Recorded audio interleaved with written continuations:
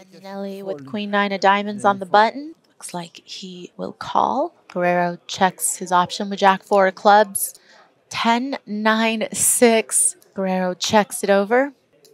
Now, so far, we've seen Guerrero play really smart. You know, he wants to exercise his option to check raise. Well, this is a pretty big pot. And pot. it looks like Guerrero Wow. going for it. Makes the call. Queen of hearts. I don't like the looks of this. Wow. Oh, man. All in. Bendinelli calls it's over. Wow. Wow. He's got no more time bank though, you guys. I This is for the I don't- title.